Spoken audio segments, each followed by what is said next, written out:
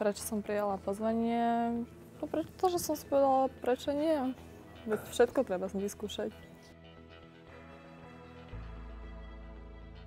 O, áno, mám predstavu, o čom sa, má, o čom sa budeme teda rozprávať. Neviem, či mám niečo konkretizovať, alebo... Tak určite to budú prsia, si myslím, nejaké plastiky.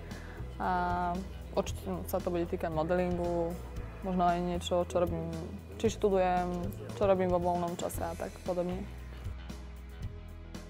Áno, teším sa na neho a cítim sa vyrovnanie.